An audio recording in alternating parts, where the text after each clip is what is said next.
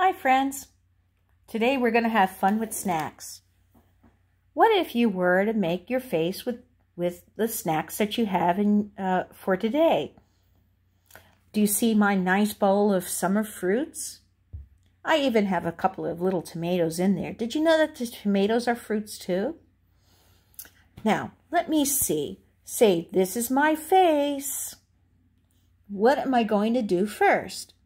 Well, Let's see. I guess I should make a smile. A smile happen. Yep. There's my smile.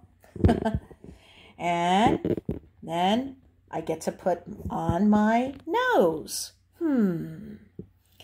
Oh, this half strawberry looks like a nose. Ah. I like this one. Now, Miss Barry's got blue eyes, so that's what, when my sister saw me, when I first came home from the hospital as a baby, she said that I had the biggest, bluest eyes ever.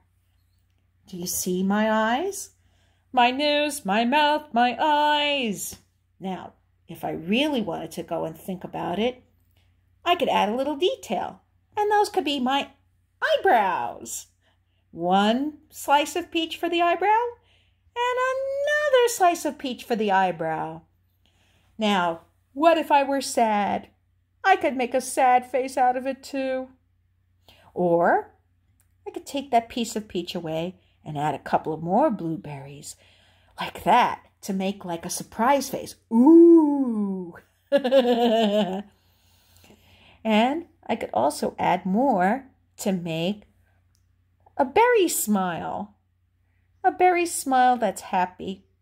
How big could your smile be? Miss Barry likes to play with her food. Yes, I do. Still do. That's what makes me, me. I hope you have fun doing this too. Oh yeah, I said the tomatoes. What if I wanted to use tomatoes? I could go and change my blueberry eyes into red eyes. So I take a half of a half of a, a tomato. And to make it symmetrical, I have to put another tomato on the other side. Now, guys, I have to say this. Once you finish this, don't forget, eat your face. Hope you have fun.